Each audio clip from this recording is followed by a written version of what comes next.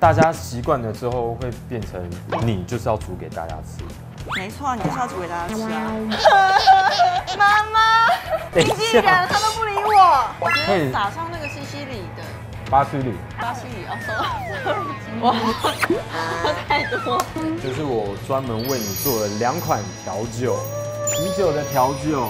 今天零食是大工程，今天的派对料理不到九十五分，这个动作超快的啊半小时就可以把料理端出来。